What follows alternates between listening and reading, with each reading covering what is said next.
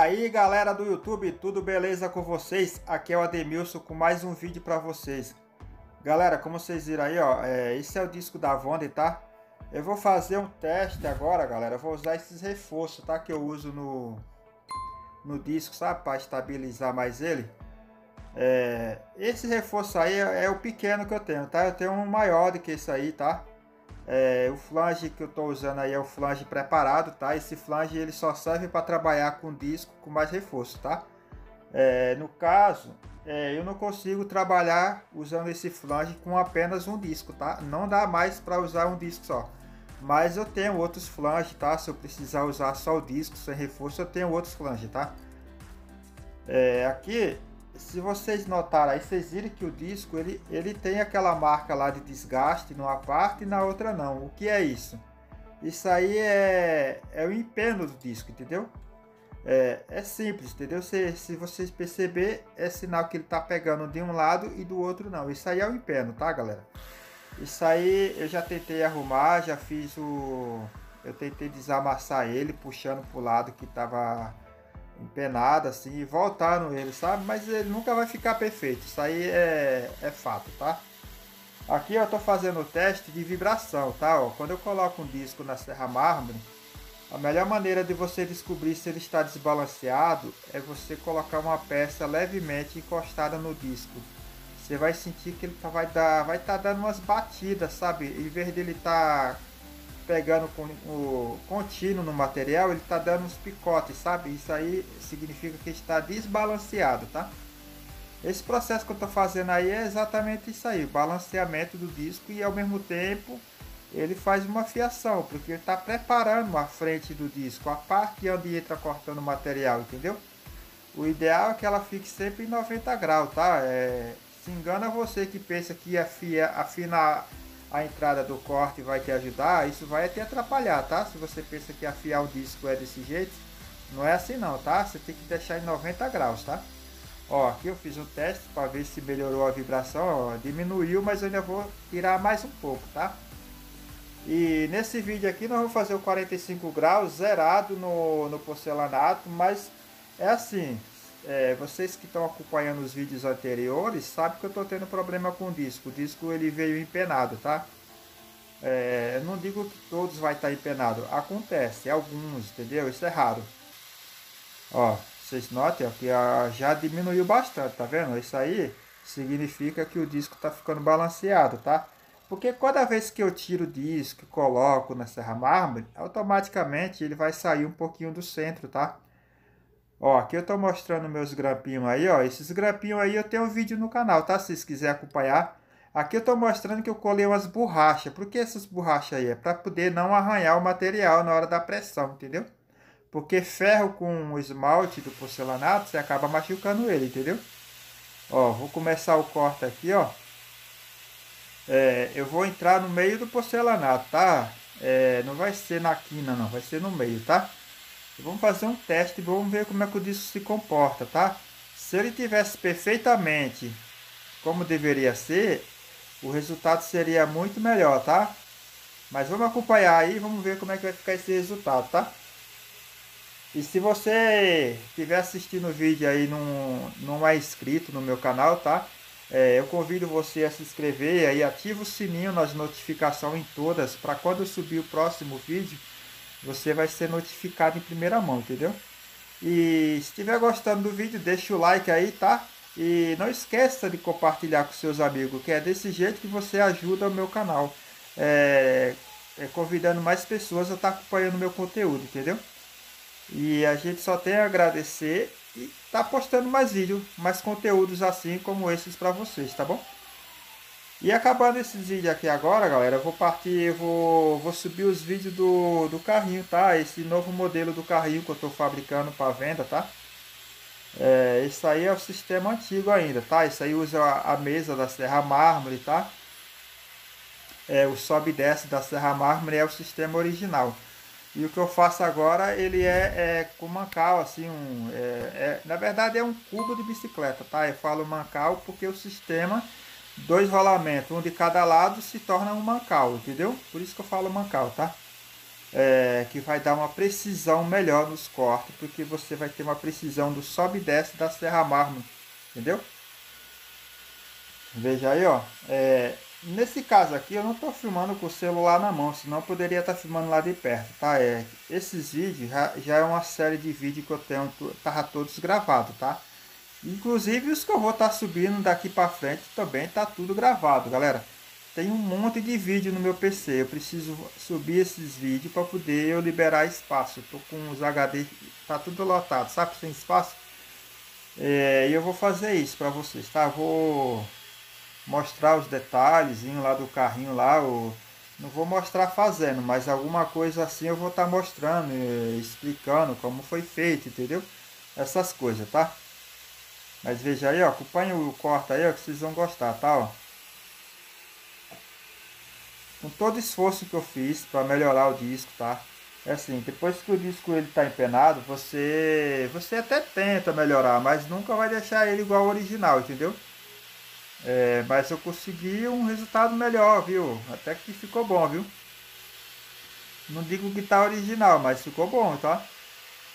É, esse corte aí, ó, ele exige muito do disco e da precisão do disco, tá? Se ele tiver qualquer empenho, é, a precisão aí fica comprometida, tá? Do corte.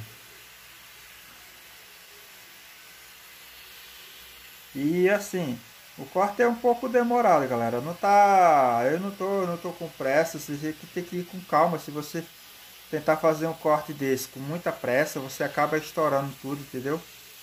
É, o corte é, é, delicado mesmo. Não adianta. Tá cortando na quina ali, ó. No, você entrou no meio do porcelanato ali, entendeu?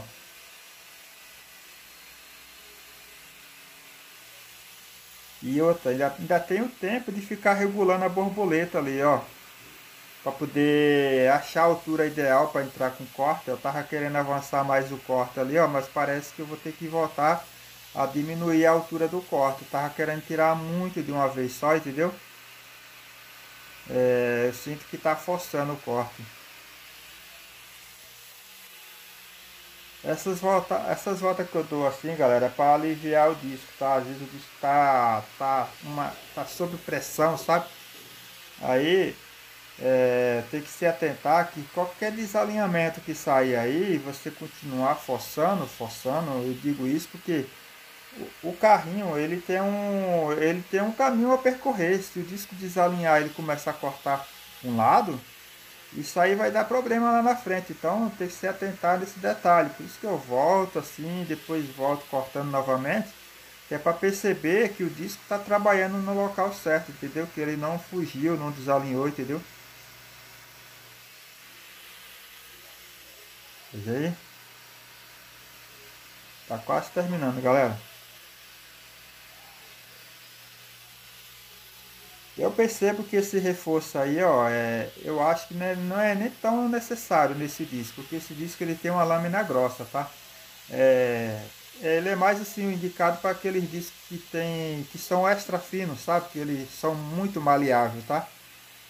É, quando o disco tem uma lâmina mais reforçada, é, que essa lâmina que eu estou usando aí, na verdade, ela é mais fina do que a lâmina do disco. Então você, você, pensa, você pensa assim, como é que um material está mais fino do que o outro que está empenado, você vai conseguir desempenar com o material que está mais fino. É, pensando por esse lado aí, eu acho que não, não, adiantaria muita coisa não. Eu acho que fica inviável esse método que eu estou usando aí.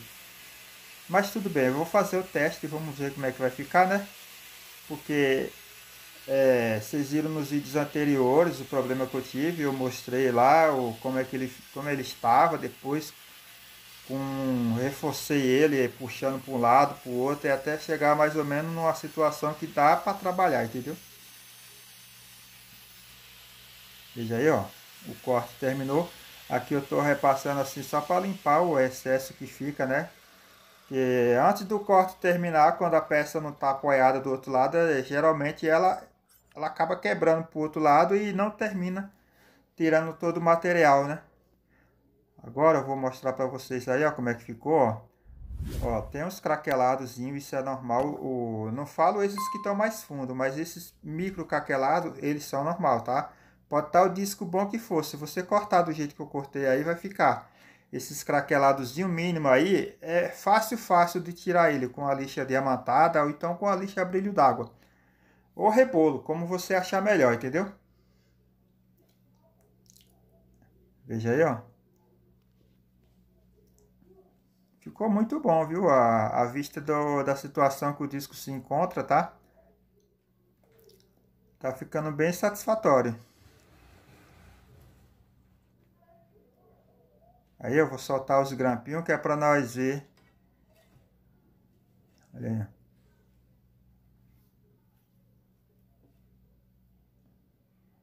Olha aí, tá vendo, galera?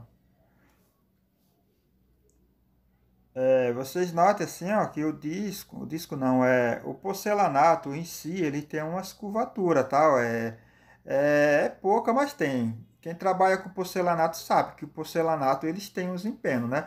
E esse empeno aí, ó, se você não tirar, é, não tirar na, na mesa lá onde você está trabalhando, é, ele é transferido por corte, por causa da, do relevo do porcelanato, tá?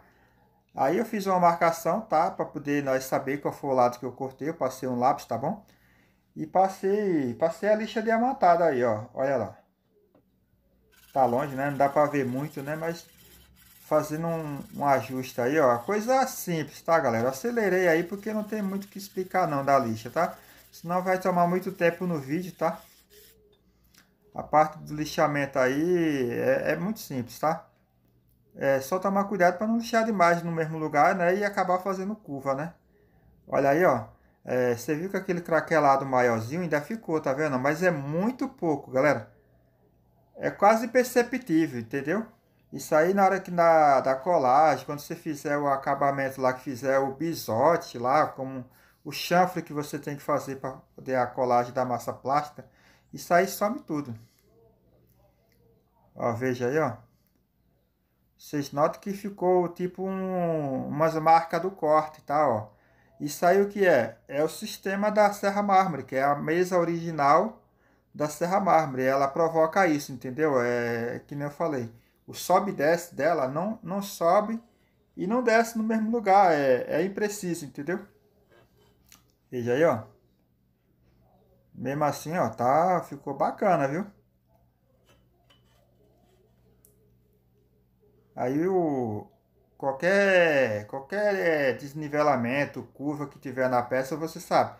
Quem trabalha com isso sabe que tem que desempenar a peça, né? Você sabe, né? A maioria que trabalha com porcelanato, fazendo pia, essas cubas esculpidas, ó, tá vendo?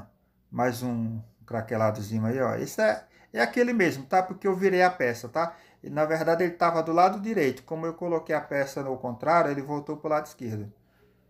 Tá? Veja aí, ó. Eu acho que isso aí passa em qualquer lugar que você for trabalhar. Ó. Aí você vai fazendo o processo de acabamento ainda, vai, vai vir a massa plástica. Você vai colar, vai dar o, o, o bisote lá aí. Cara, tá bom demais. Eu ainda vou a, ah, forçar mais um pouco. Vou tirar mais um pouquinho na lixa, tá? Só para amenizar mais. Vamos ver? Passar um pano aqui que é para ficar melhor para nós focar para vocês. O negócio aqui é mostrar na lente, galera. É, eu fico vendo os vídeos que o pessoal posta aí, o cara mostrando a máquina, cortando o piso. Aí você tá todo empolgado lá para ver o corte. Na hora que a máquina acaba de cortar o piso, puf, acabou o vídeo. E aí, o que, que, é, o que, que tem para mostrar para nós? O cara mostrou a máquina cortando, mas não mostrou o resultado. Olha só, galera. É, tá vendo? É, essa marca de lápis aí, vocês sabem. Eu marquei que é para nós saber o lado que eu tô mostrando, o lado do corte que eu fiz, tá, galera? Que tem outro lado cortado também, tá? Pra não falar assim, ó, eu cortou um lado e mostrou o outro, porque o outro lado também tá cortado, tá? A ideia é mostrar o lado que eu cortei agora no vídeo, tá? Olha aí, ó. Muito bom. Eu achei que ficou bom, viu? É, eu digo assim, porque o porcelanato tem, tem várias espécies de porcelanato. Tem os porcelanato que aceita corte melhor, é mais macio para corte. Tem porcelanato que você corta ele, parece estar tá cortando cerâmica. Esse porcelanato é duro, viu? Tá? Não vai pensar que esse é dos melhores para corte, não. Esse aqui é, é duro para corte, tá? é massa, ele tem uma massa ressecada, sabe? E esse foi o vídeo, galera.